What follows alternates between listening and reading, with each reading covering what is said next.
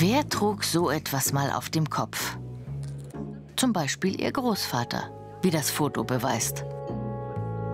Und wenn ich mir überlege, dass er bei den Ulanen war, das heißt, er ist ja mit geritten.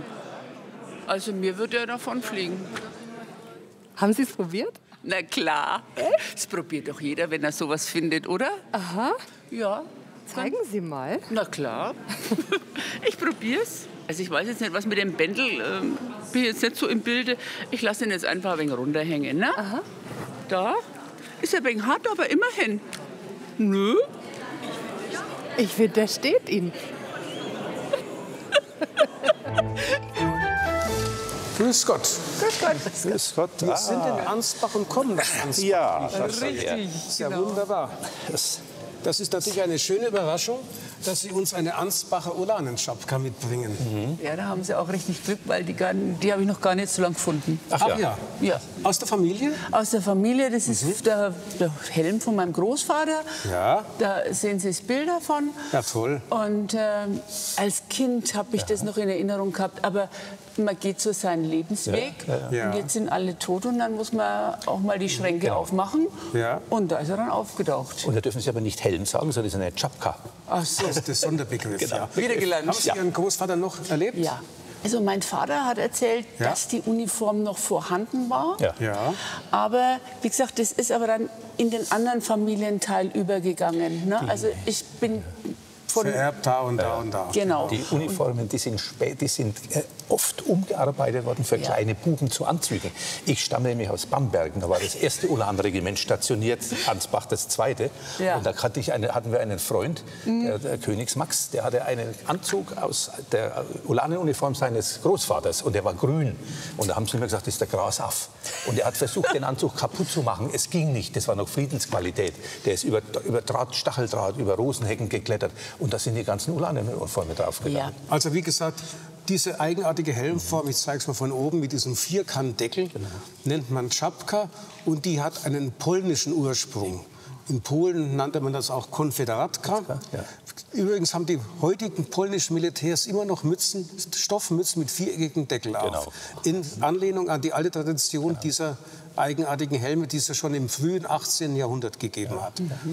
In Bayern sind die Ulanen eine Waffe, die es äh, zwischendrin nicht gab. Das erste Mal wurden Ulanen in Bayern als Regimenter errichtet 1814 unter dem ersten König Max Joseph.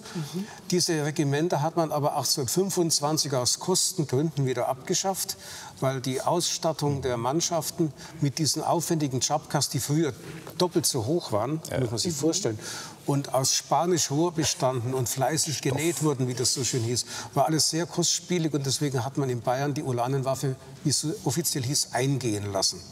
Unter Ludwig II. König Ludwig II. kommt ja an der Regierung 1864, hat man die Ulanenregimenter wieder als Kavallerie entdeckt. Also das zählen zur schweren Kavallerie, kann man sich gar nicht vorstellen, weil sie ja keinen Panzer eigentlich getragen haben, keine Rüstung. Aber Ulanen waren schwere Kavallerie. Und 1864 wurden zwei Regimenter, dann sogar noch ein drittes errichtet, kurzfristig bis 1866. Und die hatten jetzt diese Tschapka, aber noch nicht in der Form, wie wir es jetzt hier in der Hand haben, sondern noch die altmodische Form, auch wieder genäht aus Spanischrohr mit karmosinrotem Tuch bezogen und nur der Deckel oben war schwarz, übrigens anfänglich sogar auch, aus aus Tuch. Tuch, Dann hat es geregnet, dann ist das Wasser durch den Deckel gelaufen. Also man könnte jetzt länger erzählen drüber. Jedenfalls kam dann am Schluss ein letztes Modell und das ist dieses hier ab 1886. Nach dem Tod Ludwigs II.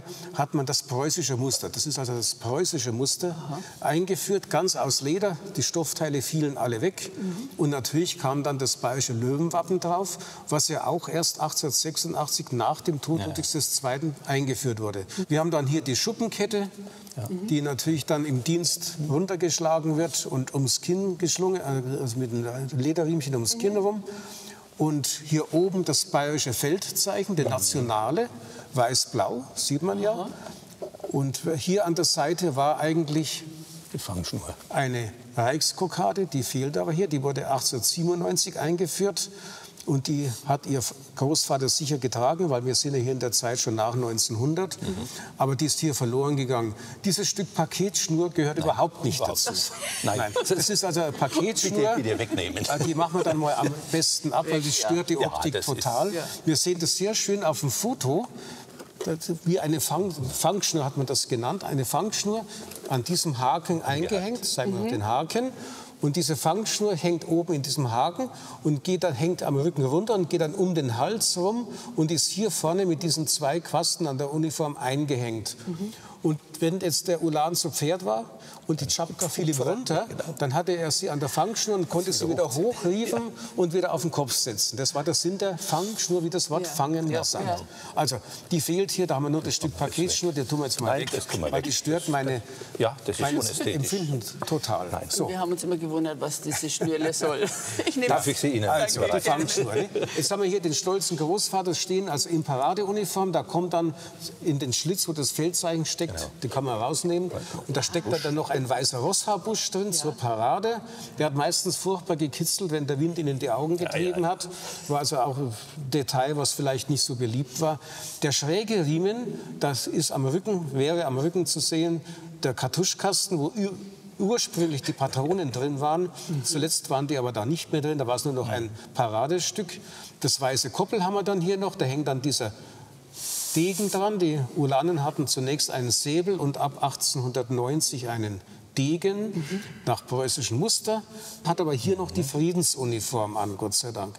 Und dann haben sie noch mitgebracht die Epauletten, ja. kann man auf dem Foto auch sehen. Hier oben auf der Schulter sieht man diese Epauletten. Mhm. Die haben also den Sinn gehabt, Hiebe auf die Schulter, auf die Achsel ja. zu bremsen, zu stoppen mhm.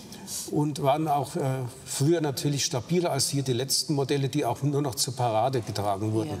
Der mhm. Sinn der Epauletten war natürlich da durch die modernere Bewaffnung längst außer Kraft gesetzt worden.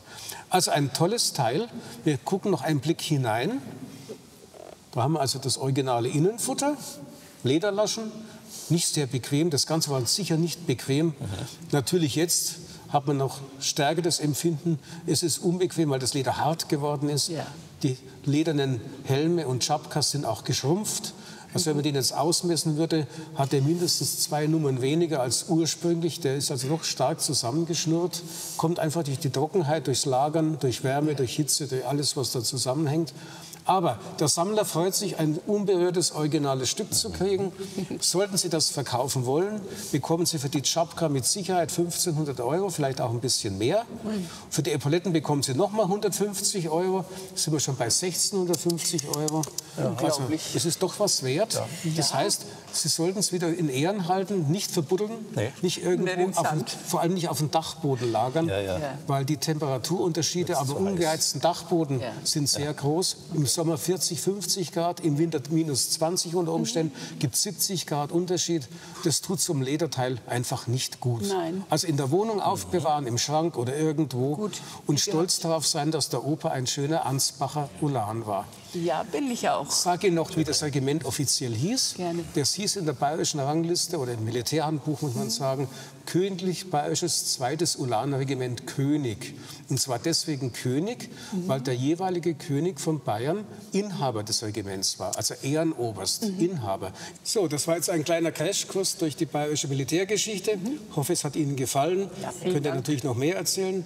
Aber es war schön, dass Sie es uns gezeigt haben. Noch dazu hier in Ansbach. Vielen Dank fürs Bringen. Kommen Sie wieder gut nach Hause damit. Dankeschön und auf Wiedersehen. Wiedersehen. Ich wusste ja von nichts. Ne? Ich meine, ich wusste natürlich, dass mein Großvater bei den Ulanen war in Ansbach. Aber dass es so was Besonderes war. Und als Kind, wie gesagt, da spielt man mit den Sachen und dann ist gut.